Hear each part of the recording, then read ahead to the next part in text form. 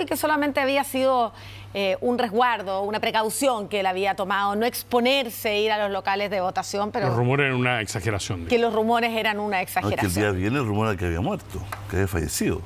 Entonces, eh, nosotros estábamos en la radio, estaba en vivo en la radio y ese era el rumor, y siempre ese tipo de rumores generan ¿no es cierto? movimientos y finalmente sacaron un comunicado ¿no? diciendo que estaba enfermo ¿no es cierto? y que se iba a resguardar. ni siquiera, ni siquiera que estaba enfermo, que prefería resguardarse. Dijo ayer que los rumores eran una exageración eh, con mucho sentido del El comunicado de prensa del PPD fue que eh, eh, estaba enfermo y que no quería salir esos días porque tenía que cuidarse. Estaba en un resfrío, una cosa así. Vamos con la Pati Venegas, que en una de esas nos pasa la, sí. expresidenta Bachelet.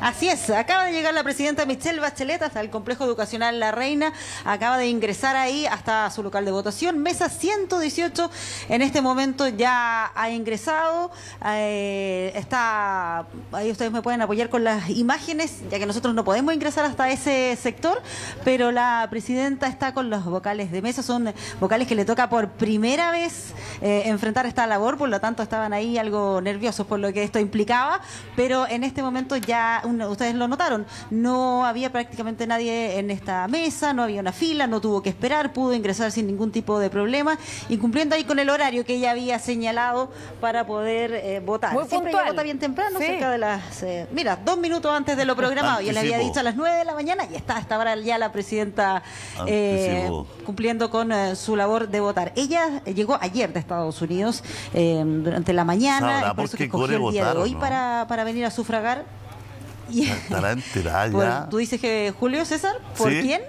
¿Sabrá que, por qué no, no, tengo ese dato. Ah, porque miró, miró ese voto, lo, vio grande, lo, vio grande ese voto. Lo vio ah, sabanesco. Lo vio, lo vio grande. No, pero una mujer preparada, con experiencia en política, fue con, su, con sus candidatos, claro. Tiene que haberse desde el extranjero haber preguntado más o menos, haberse informado quiénes son. Yo hasta último minuto estuve con el concejal, lo, decidí, en la, lo decidí en la urna. Lo decidí en la urna mi concejal. Hasta último minuto tuve... Es que a mí me pasó ah, que hubo tantos concejales que en los últimos días me, entregaron papelitos en la calle. Me los topé a todos. ellos mismos. Ellos mismos. Eso Entonces, una cosa. como que me daba pena votar por uno, no por otro. Todos me habían entregado su papelito en la calle. Así que, eh, bueno, tuve que votar por uno y al resto eh, les agradezco de todas maneras. Mi auto está lleno de papelitos. Sí. ¿A ti hay, hay dispuesto punto de prensa fuera de, sí. fuera de la sala, no? Sí. O sea, tenemos certeza de que va a hablar. Está acá una especie de barrera, no podemos hay una especie de barrera, no podemos llegar y acercarnos hasta donde está ella. Hay, por supuesto, harta seguridad como expresidenta, pero de todos modos eh, va a existir la opción de hacerle algunas preguntas. No ha sido confirmado oficialmente, pero en general cuando son estos procesos de votaciones, la expresidenta Bachelet eh, suele contestar algunas preguntas, va a acercarse hasta acá a la prensa. Así que esperamos que esta no sea la excepción, que exista la posibilidad de conversar con ella, porque como lo comentábamos antes, em, hay expectativa por preguntarle por ciertas situaciones de la contingencia, obviamente por la denuncia contra el ex subsecretario Manuel Monsalve, su opinión por cómo ha manejado el gobierno toda esta, esta situación. Eh, bueno, y además es una expresidenta, por lo tanto también tendrá algunas palabras por lo que es el desarrollo de estas dos jornadas de, votación. Así es que una vez que ya con eso, esperamos que se acerque acá y podamos yo no sé qué piensan ustedes, pero Luis Cordero, ¿es casualidad que también haya votado a las nueve o es para pasar piola? Yo voto por pasar piola. Por pasar, sí, que este, está estudiado, está estudiado. Porque como justo votar a las 9 igual que Bachelet, porque nadie, le va a preguntar a Cordero, todos van a, van a estar pendientes no, No, si le vamos a preguntar igual, lo, vamos a grabar y lo vamos a dar después. Pero no tiene la misma contundencia. No se va a salvar de las, de las preguntas. Es astuto, y, Cordero. y además está la Monse ahí, así que la Monse va a hacer su pega y le va a preguntar. Astuto, solo, solo 3 minutos 14 la, la presidenta. Lo, lo Por supuesto. ¿Cuánto? 3 minutos 14. 3 minutos 14, bien rápido. está ahí en el promedio, está en el promedio. Se lo sabía porque hay que, eh, acuérdate que hay que doblar adentro y ponerle De izquierda a derecha, de abajo hacia arriba. Hacia arriba muy bien ese, es un poquito... Presidenta, expresidenta Michelle Bachelet, quien era militante del Partido Socialista, el mismo partido de Manuel Monsalve, el que tuvo que renunciar durante la semana previo a las elecciones. Así ahí, que... ahí le está costando al presidente lo que contar en la mañana. Monse, desmienta a Julio César y por favor hazle una pregunta a Cordero. obviamente que le vamos a hacer una pregunta a Cordero. Eh, y obviamente que aspiramos a que la responda, pero sin duda yo creo que es uno de los hombres de la jornada, enfrentando como subsecretario del Interior un cargo que es fundamental en día electoral, eh, sin haberlo pensado, yo creo que sin haber estado en sus cálculos. Sin duda entonces la pregunta va, eh, llegó temprano, recordemos que hoy día además que ha sido mucho más rápida la constitución de las mesas aquí en la estación Mapocho, súper tranquilo todo pero todos expectantes frente a el subsecretario Cordero, que ya lleva un ratito ya eh, al interior de la Cámara Secreta. Así que vamos a ver qué es lo que ocurre con la mesa 899, Maca. Ya, te voy a interrumpir porque justo salió la expresidenta Michelle Bachelet. Volvemos contigo, tú nos avisas. Escuchemos. Su opinión sobre la situación de la denuncia contra Manuel Monsalve. ¿Qué ha ocurrido con el ex secretario? Decir, porque hoy día es un segundo día de elecciones municipales, gobernadores, consejeros regionales y concejales, es súper importante que ojalá la gente venga a votar temprano, no hace tanto calor, ¿no es verdad? ¿no? Eh, y porque además es muy importante, estas son elecciones que tienen que ver con la vida directa de las personas. El municipio es la puerta de entrada de los ciudadanos, es donde van a, pedir las cosas que necesitan, donde también se pueden cumplir sus sueños. Y justamente todo lo que hemos visto, que no solo este último caso, sino lo que hemos visto a lo largo de todo el año, alcaldes presos, alcaldes acusados por corrupción, el caso de San Sebastián, ¿no es verdad? Y también lo del caso del ex subsecretario Monsalve, hace que la ciudadanía tenga muy poca confianza en el mundo de la política. Pero yo creo que la manera que va a impactar en estas elecciones en particular tengo la sensación, se lo escuchaba a algunos alcaldes decir el día de ayer, de cuando la gente está votando a alcaldes, sobre todo consejeros regionales, gobernadores y, eh, y consejeros y concejales, está votando por gente que está midiendo cuánto hizo, cumplió con lo que me comprometió, ¿no es verdad?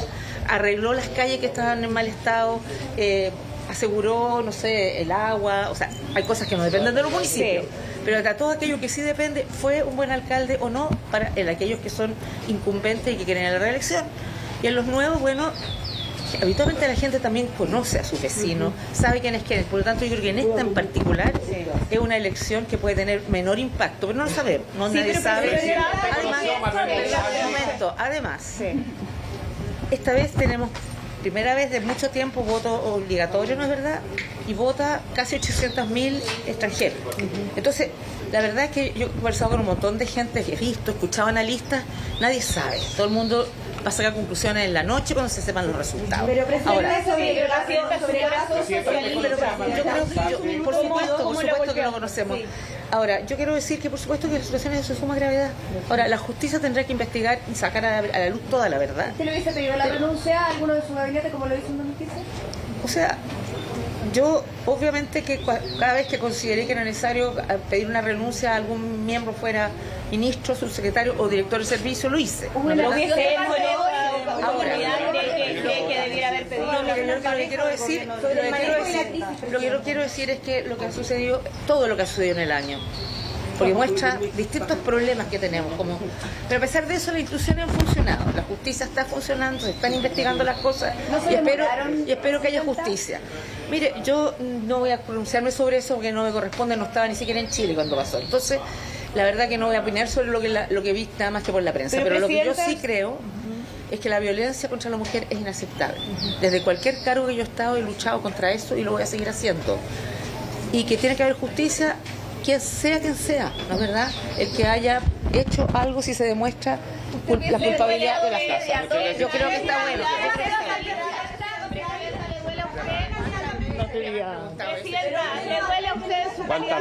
Bien, ahí entonces parte de las declaraciones de la presidenta, sí, parte de las declaraciones de la expresidenta Michelle Bachelet, ahí veíamos que, bueno, primero quiso referirse a, la jornada electoral y luego de eso dijo, no quiso entrar en los detalles respecto a la evaluación que ha hecho el gobierno sobre esta situación, cómo la ha manejado, pero de todas maneras ahí se refirió al tema que por supuesto iba a estar marcando la, conversación con ella, que era la denuncia por violación contra el ex subsecretario Manuel Monzá. Sí, Pati, mira, quedemos en pausa ahí para comentar después las palabras de la expresidenta y vamos con el actual subsecretario del Interior, el ministro, el exministro Cordero, quien está en la estación Mapocho. Escuchemos sus palabras y después comentamos todas estas declaraciones. Vamos con eh, Montserrat Álvarez, que está ahí en la estación Mapocho. Monse.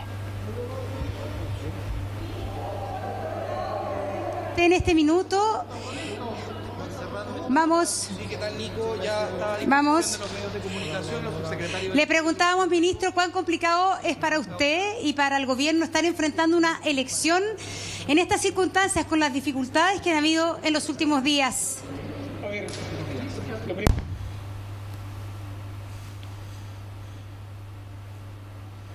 Sí, vamos a tener que ver la forma de lograr el audio que está centralizado, pero no nos está llegando. Eh, comentemos algo de las palabras de la expresidenta Michelle Bachelet, que hacía referencia, eh, Aldo, Julio César, a, a esta crisis de confianza que ha afectado a las instituciones, sobre todo a los políticos, a los alcaldes, dijo ella, durante el último año, pero que, sin embargo, eh, ella creía que no es eso lo que se va a medir. Yo creo que nosotros hemos vivido momentos complicados, no, no, estoy refiriendo exclusivamente al gobierno, sino que a las instituciones esenciales del país durante los últimos meses. Y a mí me parece que las elecciones son un momento de renovar el compromiso democrático.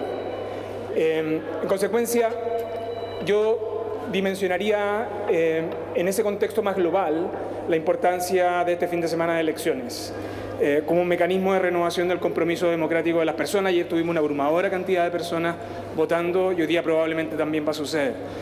Entonces, por cierto, creo yo que en momentos difíciles para la institucionalidad, tener una elección de esta fortaleza este fin de semana creo que es relevante para todos quienes participan del, debate público.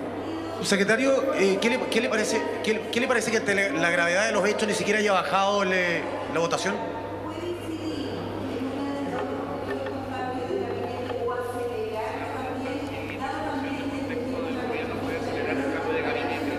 A ver, dos cosas. La primera, las decisiones sobre cambios de gabinete corresponden exclusiva y privativamente al presidente de la República.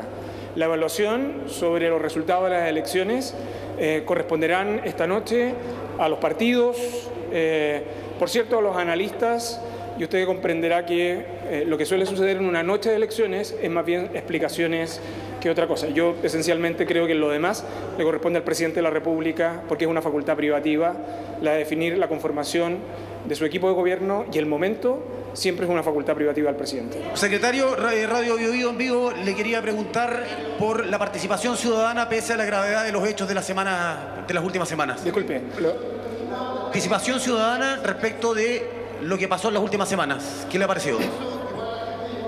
Sí, a ver, lo que pasa es que hay dos dimensiones que son relevantes. Recuerda que esta es la primera elección local que nosotros tenemos con voto obligatorio. La segunda es que estamos eligiendo a los representantes que abordan, es el primer contacto que tienen las personas con el Estado en los municipios. Em, y bueno, y la importancia que va adquiriendo los gobiernos regionales.